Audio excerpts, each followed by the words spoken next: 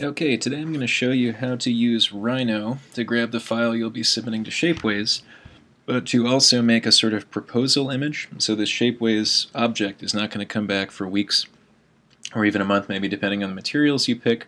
So we also need to generate kind of a facsimile that'll show us what you're intending to do. Uh, the other advantage about creating this sort of proposal image is that this is the way that you're going to conduct your art and design practice out there in the future.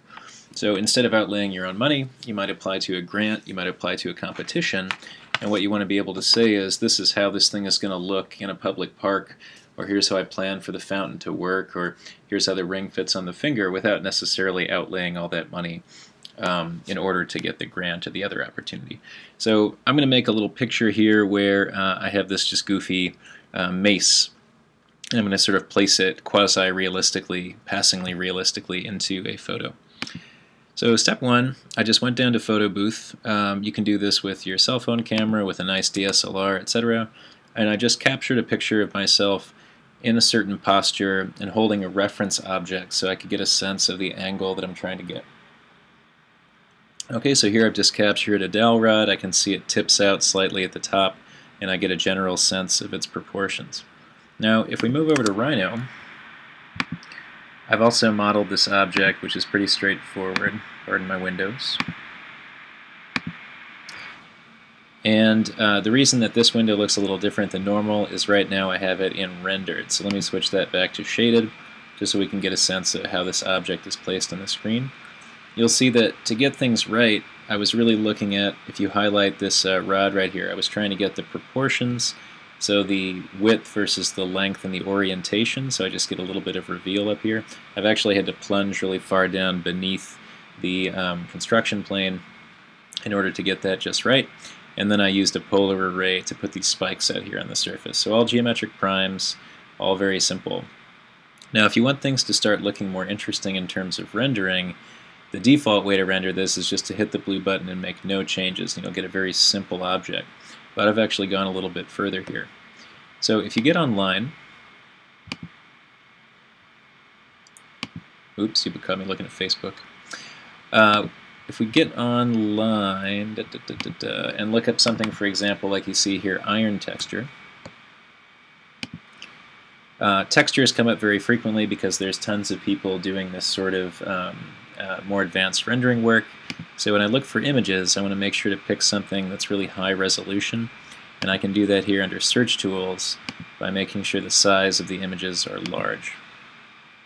Although most of the texture images you search for will be large. Avoid things that have watermarks on them, so there are people putting that on there encouraging you to pay. And pick something that seems to have a fairly large pixel dimension. So this is a couple thousand pixels in one dimension.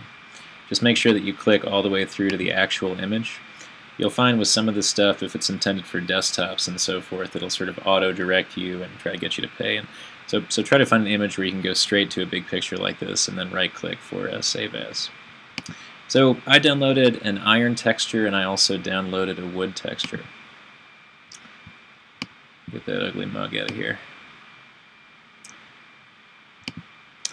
Okay, so if we head back to this view, I can switch this thing to rendered, and that'll give me a better sense of what I'm about to change. And as you'll see, man, if you really want to get into rendering high quality images, there are just a thousand options. So I want to show you what you can start to play with, and especially for those of you that are really ahead of the game right now, like your models are all done, you can make a really, really awesome proposal image. So I'll click on one of these objects, and then I'm going to hold down the mouse here. Oh, actually, let me have you do something else first. So I click on the object and then I click here on this little Technicolor circle which is object properties. You remember that last time when we made the duck we just had these solid colors which we found under material and then object. And I'll go to the same uh, location but instead of picking a color here I want to scroll down and I want to give this thing a texture.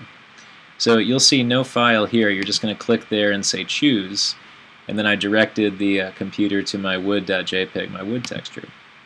Now if you find that the wood comes up in the wrong direction, you can alter the, uh, the U's and the V's. These are basically the orientation of the image uh, as it wraps on the surface. I think it works just fine for my purposes, so I'm going to leave it there.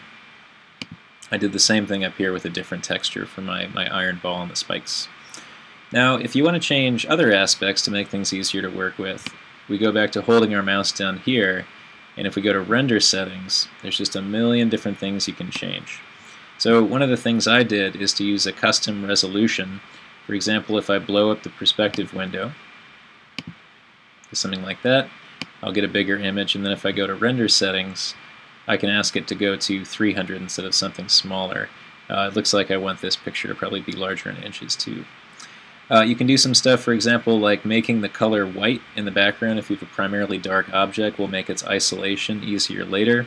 Oh, it looks like we can also uh, export with a transparent background. That's nice too. Uh, let's see, so if you get into advanced, I'll let you fiddle around with this stuff. It talks about the way that the light bounces around the atmosphere and the reflectivity and transparency of the object. You can really get down into it. Um, I found it was good to um, bump up a little bit of uh, jitter, which kind of makes it look like the camera is slightly out of focus. Be right back.